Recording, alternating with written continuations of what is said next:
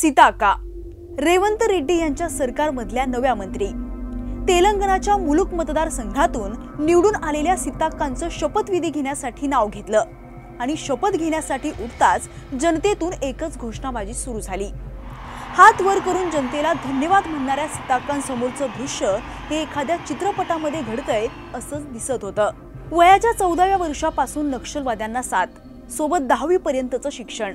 त्यात भाऊ आणि पती गमावलेल्या सीताक्का यांनी राजकारणात येण्यापूर्वी पंधरा वर्षांहून अधिक वर्ष जंगलात लपून सरकार विरोधात लढवण्यात घालवली. पण शरणागती पत्करल्यानंतर याच सीताक्कांनी जंगलात राहणाऱ्या आदिवासींसाठी काम केलं. दोन हजार चारला तेलगू देसम पार्टीनं त्यांना आमदारकीचं तिकीट दिलं आणि खऱ्या अर्थानं राजकारणात त्यांची एंट्री झाली. पण सीताक्का रेवंत रेड्डींच्या मंत्रिमंडळात कशा आल्या? त्यांच्या सीताक्का नावामागील इतिहास नेमका काय? आणि नक्षलवादी बनण्यापासून राजकारणात येण्यापर्यंतचा त्यांचा प्रवास कसा राहिला तेच या व्हिडिओत पाहू. नमस्कार मी विश्रांती आणि तुम्ही पाहताय महाराष्ट्र टाइम्स ऑनलाईन. दानसारी अनसुया सितक्कांचं पूर्वीचं नाव त्या तेलंगणा राज्यातील वारंगल जिल्ह्यातील मुलुगू मंडळातील जगन्नागुडीन येथील रहिवासी आहेत. दानसारी अनसुया या समाक्का आणि समय्या यांची मुलगी. सरकारी आदिवासी वसतिगृहात राहून त्यांनी शिक्षण घेतलं. विद्यार्थी दशेपासूनच त्यांनी संघर्ष सुरू केला. वसतिगृहात योग्य जेवण न मिळणं मुलींना सरकारकडून दिले जाणारे दहा रुपये न मिळणं याबाबत त्यांनी आवाज उठवला. सरकारी विद्यार्थ्यांना एकत्र करून विरोध सुरू केला.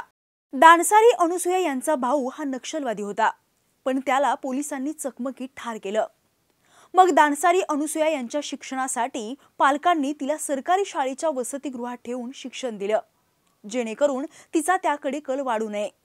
परंतु जेव्हा तिने वसतिगृहात विरोध करण्यास सुरुवात केली तेव्हा जनयुद्धाच्या सदस्यांची नजर तिच्यावर पडली. वयाच्या चौदाव्या वर्षी एकोणीसशे चौऱ्याऐंशी मध्ये त्यांनी नक्षलवादात प्रवेश केला. मात्र त्यांनी शिक्षण सोडलं नाही. एकोणीसशे अठ्ठ्याऐंशी मध्ये दहावी पर्यंतचं शिक्षण पूर्ण झालं. दानसारी अणसुया यांचा मेहुणा श्रीराम हा सैन्यात होता. दरम्यान त्यांच्या वहिनीचा मृत्यू झाला. काही काळानंतर दानसारी अणुसुया यांनी मेहुणा श्रीराम याच्याशी लग्न केलं. लग्नानंतर दानसारी अणसुया नावाचं सीताक्का झालं. संसार सुरू होताच नक्षलवादी सोडून त्या परत आल्या.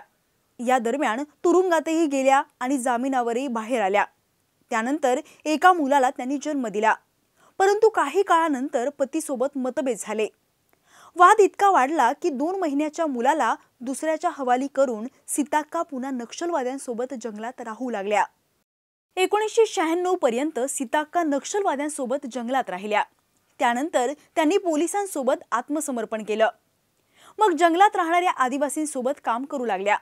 हळूहळू त्या आदिवासी भागात लोकप्रिय झाल्या आणि मुख्य प्रवाहात परतल्या. एकात्मिक आदिवासी विकास एजन्सीमध्ये मासिक पगारावर काम करत असताना सीताक्कांनी आपला अभ्यास सुरूच ठेवला. दोन हजार बावीसमध्ये कायद्याचं शिक्षण घेत असतानाच चंद्राबाबू नायडू यांच्या पाठिंब्यानंतर त्यांनी तेलगू देसम पक्षात प्रवेश केला. सीताका या आदिवासी कोळ्या जमातीच्या. दोन हजार चारला त्यांना टी डी पी मुलुक विधानसभा मतदारसंघातून तिकीट मिळालं पण तेव्हा त्या पराभूत झाल्या. दोन हजार नऊला दुसऱ्यांदा मुलुक विधानसभा मतदारसंघातून त्यांनी निवडणूक लढवली. तेव्हा काँग्रेस उमेदवार पोदेम विरैया यांच्या विरोधात विजय मिळवला. तेव्हा थेट विधानसभा गाठली. मतदारसंघातील जनतेसाठी नेहमीच उपलब्ध असलेल्या आमदार म्हणून त्यांची ओळख बनली. दोन हजार चौदाला पुन्हा बी आर एस उमेदवार अजमीरा चंदुलाल यांना त्या भिडल्या पण तेव्हाही त्या पराभूत झाल्या मग दोन हजार सतरामध्ये त्यांनी काँग्रेसमध्ये प्रवेश केला. त्या अखिल भारतीय महिला काँग्रेसच्या सरचिटणीस आणि नंतर छत्तीसगड महिला काँग्रेसच्या राज्य प्रभारी बनल्या. दोन हजार अठरा आणि दोन हजार तेवीसमध्ये पुन्हा मुलुक मतदारसंघासाठी काँग्रेस उमेदवार म्हणून त्या निवडणूक लढल्या आणि जिंकल्यासुद्धा आणि आता तेलंगणा सरकारमध्ये कॅबिनेट मंत्री म्हणून त्यांनी शपथ घेतली आहे. तेलंगणाची निर्मिती झाल्यापासून केसीआर यांनी विकास कामं केली खरी. पण त्यात रेवंत रेड्डींसारख्या एका नेत्यानं केसीआर यांची नऊ वर्षांची सत्ता उलटवून टाकली. सीताक्का यांनी कोरोना लॉकडाऊन दरम्यान तेलंगणा छत्तीसगड सीमेजवळील चारशेहून अधिक गावांना भेटी दिल्या होत्या. स्थानिकांना दिलासा देत तांदूळ डाळ इत्यादी वस्तू आणि गरजू लोकांना मास्कचंही वाटप केलं होतं. त्यांच्या प्रयत्नांना सोशल मीडियावर देखील प्रचंड पाठिंबा मिळाला होता. मी माझ्या लोकांप्रती कर्तव्य म्हणून आणि माझ्या स्वतःच्या समाधानासाठी हे काम करतेय असं अनुसुया म्हणाल्या होत्या.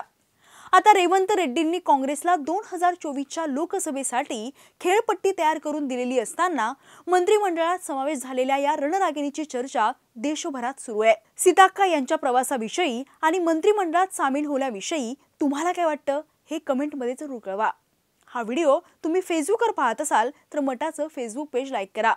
आणि यूट्यूबवर पाहत असाल तर मटाचं यूट्यूब चॅनल सबस्क्राईब करा. असेच व्हिडिओ मटाच्या यूट्यूब चॅनलवर पाहत राहा.